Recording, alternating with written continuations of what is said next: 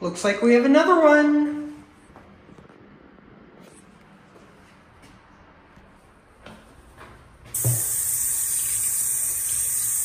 By the way, this is not the first place I found a dryer with this label. I actually found this on the USS Midway Museum. I just decided not to film that one.